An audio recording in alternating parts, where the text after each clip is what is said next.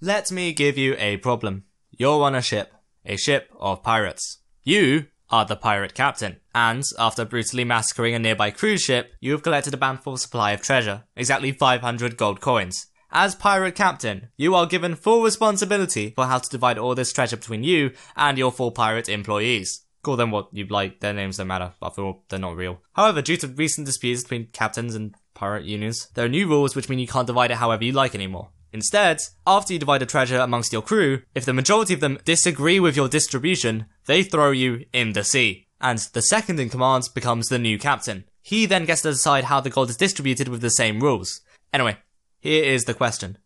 What's the most amount of gold you can get for only yourself without dying? First of all, I should clarify a few things. For one, all of the pirates in the problem are perfectly logical, and much like you, hopefully, they'd rather be left alive at the end of showing the gold out than dead. Assuming that's met, they'll want the most amount of gold possible. Secondly, there are no alliances, you all suck, you all hate each other. Thirdly, if a vote goes to deadlock, i.e. two people vote in agreement with a distribution system and two people vote against it, the vote agrees with the system and the gold is spread out in that manner. After all, the disagreement needs to be in the majority. Finally, if a pirate realizes that they will get the same amount of gold whether they vote yes or no on a vote, but if they vote no, someone dies, they'll vote no every time. After all, they're pirates. Not exactly the most ethical profession. Tends to be a bit murdery. Anyway, yeah, um, see how much gold you can get. I will wait a bit.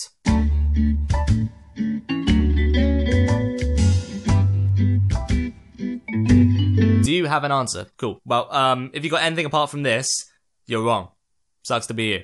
To the rest of you, well done. You've earned yourself the feeling of accomplishment and a sense of self-worth. These are the most valuable prizes. But Alex, I hear a few of you asking, how is it possible that you as head pirate may obtain 498 out of 500 gold? Surely this cannot be the answer. To which I say, You calling me a liar?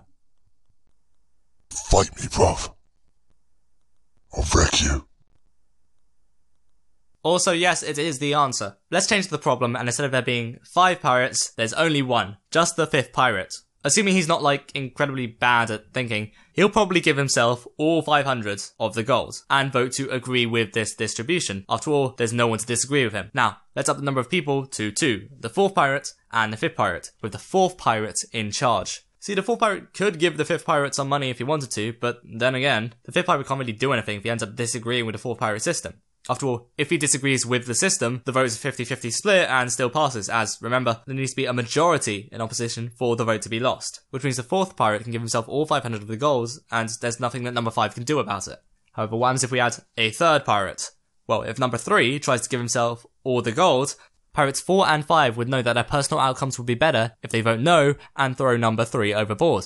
Pirate 4 will be able to gain all 500 of the gold when there are only two people left, as was shown earlier, and pirate number 5 gets to witness a murder. Again, not nice people. However, 5 would still get no gold, so 3 realizes it might be possible to buy his vote by giving him slightly more gold than he would get under Pirate 4. And as 1 is slightly more than 0, 3 can buy number 5's vote by giving him just 1 gold piece. Let's up the number of pirates to 4 now. This time, the new person in charge, Pirate 2, can't buy Pirate 5's vote with 1 gold piece, as he'll still get 1 gold piece with only 3 people left. However, he also realizes that Pirate 4 will get no gold with only 3 pirates left. Therefore, number 2 can buy number 4's vote with 1 gold piece, and once again, the vote goes to 50-50 deadlock, with the vote being passed. Finally, there's you, the final pirate, the pirate captain. Under Pirate 2's leadership, numbers 3 and 5 would get absolutely nothing, so you realize that if you give them, and only them, one gold coin each, you have enough votes to pass your system of spreading the gold, leaving you with a magnificent total of 498 gold coins. This problem is an example of a maths topic known as game theory, i.e., the study of mathematical models of conflict and cooperation between intelligent, rational decision makers, and is a topic that incorporates a whole host of other subjects such as psychology, economics, philosophy, computer science, politics, etc.